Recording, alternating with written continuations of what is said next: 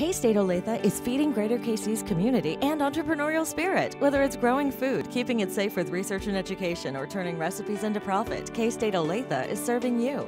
We are here at Produce Safety Laboratory at K-State Olathe where we do research on microbial safety of fresh produce. Although Kansas is a grain-dominant producing state, there has been a significant increase in number of uh, fresh produce farms recently. A key concern, get easily contaminated with harmful germs. This results in foodborne outbreaks and food loss and food recalls. It also results in bigger revenue loss to the growers. Reducing and preventing future foodborne outbreaks will help increase the economic advantage or economic returns to the growers. So let's grow safe, eat safe, and stay healthy.